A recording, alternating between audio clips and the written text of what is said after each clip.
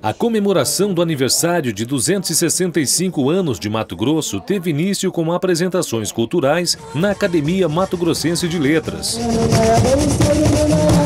Na solenidade, teve também o lançamento do linguajar cuiabano como patrimônio imaterial do Estado. O IFAM foi muito feliz de registrar o linguajar cuiabano, porque apesar de toda essa movimentação de tecnologia, de internet, o que vai ficar de cada região é a sua cultura. Hoje você vê que nós temos o nosso linguajar é, pontuado no país inteiro. Esse é o, é o linguajar da, principalmente do pessoal aqui em volta de Cuiabá.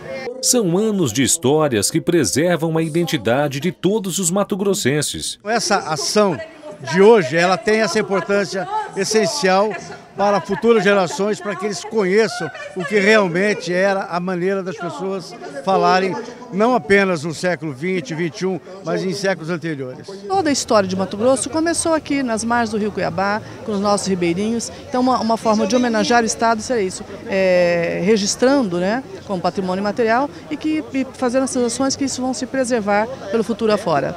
265 anos de um Estado que cresce acima da média nacional e tem a atenção do mundo, principalmente por suas riquezas naturais. Assim é o nosso Mato Grosso, uma terra de oportunidades e também da valorização da cultura de um povo. Nós falamos muito em obras, no desenvolvimento, na construção civil aquecida, a economia aquecida no agronegócio, o evento da Copa em ritmo acelerado, as obras, tudo. Mas o que é mais importante, você comemorar o aniversário de Mato Grosso e lembrar a história, falar do nosso povo. As homenagens também ocorreram na antiga Casa dos Governadores e terminou com o hasteamento das bandeiras e a apresentação de Cururu na Praça Alencastro, no centro da capital. Não, não, não,